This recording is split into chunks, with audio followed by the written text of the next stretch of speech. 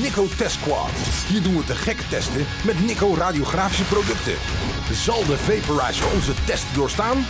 Overleeft hij een mega hoge duik in het water? Yes! Hij stuurt zelfs in het water en is compleet waterdicht. En kan hij ook rijden in de sneeuw? Yes! Met zijn twee motors kan de vaporizer 360 graden spinnen. Nu met Quick Charger die je accu in slechts 1 uur oplaadt. Heeft de vaporizer onze waanzinnige test overleefd? Natuurlijk, het is een Nico.